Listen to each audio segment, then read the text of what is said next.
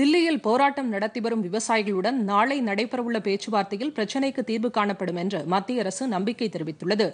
புதுதில்லியில் செய்தியாளர்களிடம் பேசிய மத்திய வேளாண்துறை இணையமைச்சர் கைலாஷ் சௌத்ரி விவசாயிகள் அமைதியான முறையில் போராட வேண்டும் என்று கேட்டுக்கொண்டார் இந்தியாவில் போராட்டம் நடத்த அனைவருக்கும் உரிமை உண்டு என்ற போதிலும் விவசாயிகள் விவசாயிகளை சிலர் தவறாக வழிநடத்த முயற்சிப்பதாகவும் அதற்கு அவர்கள் இடம் தரக்கூடாது என்றும் கேட்டுக்கொண்டார் அந்த சக்திகள் நாட்டில் அமைதி நிலவுவதை விரும்பாத சக்திகள் என்றும் அவர்களிடம் விவசாயிகள் எச்சரிக்கையுடன் இருக்க வேண்டும் என்றும் கூறினார்.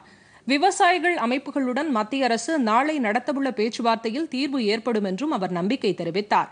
விவசாயிகள் நலனுக்காகவே வேளாண் சட்டங்களை மத்திய அரசு கொண்டு வந்ததாகவும் அவர் கூறினார். வேளாண் சட்டங்களில் திருத்தங்கள் செய்ய வேண்டும் என்று விவசாயிகள் விடுத்த கோரிக்கையை பரிசீலிக்க அரசு தயாராக இருப்பதாகவும் அமைச்சர் தெரிவித்தார்.